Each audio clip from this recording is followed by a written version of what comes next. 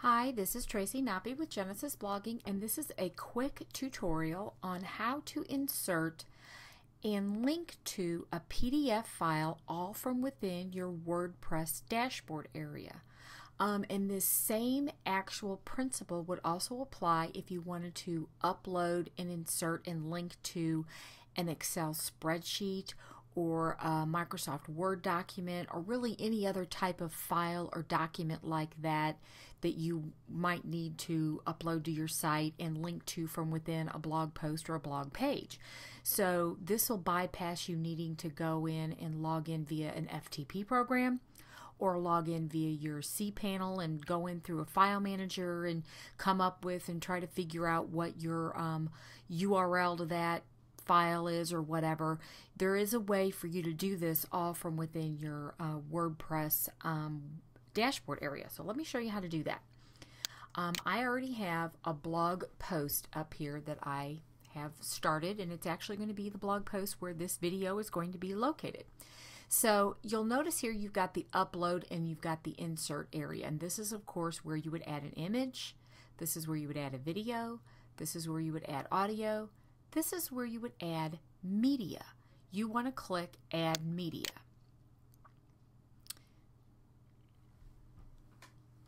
And this is where you can select files and you want to find your PDF file on your computer. So you select that and um, then it's going to find it so you can find whatever you want on your computer and you want to browse your computer and find the file that you want to upload.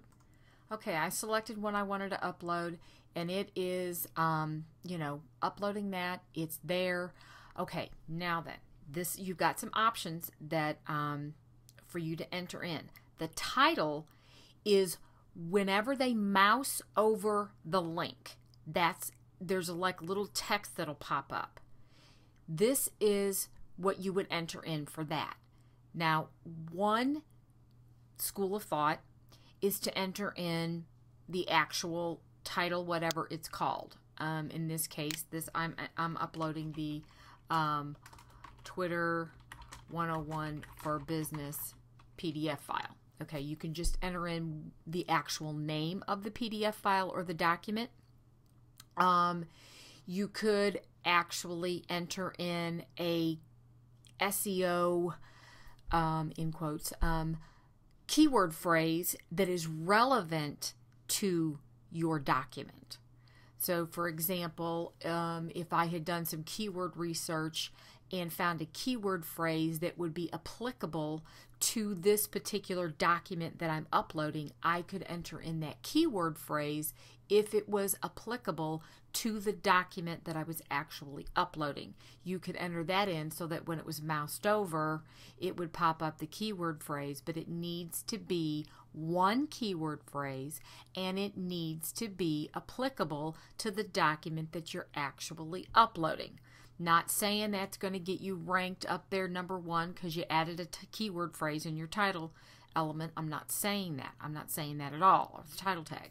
Um, I'm just saying, you know, um, if it's applicable to the, you know, to what it is that you are uploading, that keyword phrase is relevant to that. Certainly, that is an appropriate use of a keyword phrase in this instance because that's going to help people find the information that they're looking for that would be within the document that you're uploading. That's the purpose of keyword phrases to help people find the information that you're looking for. So it would be relevant and appropriate to use it for a title tag in a document in this situation.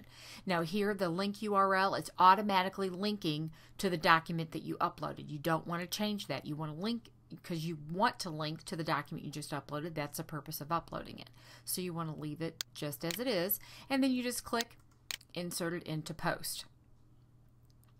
Now, um, you'll notice here that Twitter 101 for Business is the name that is linked. So that is the anchor text. Okay, so if I would have entered in a keyword phrase, that phrase is what would be linked directly to my document that I just uploaded. So it makes it, it becomes the anchor text at that point.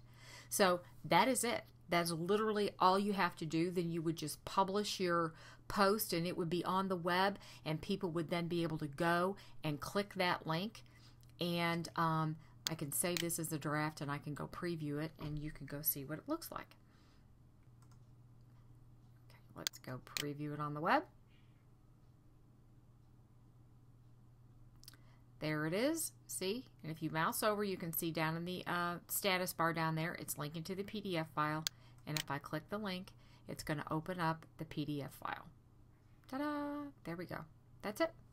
That's how you do it. That's how you link to um, a PDF file or a Word uh, document, an Excel spreadsheet, anything like that, anything that you know that you would need to link to within a document, that's how you would upload it all from within your WordPress dashboard. You want to use this media, add, upload and insert media um, icon right here. That's how you would do it. Pretty easy. So there you have it. Talk to you soon.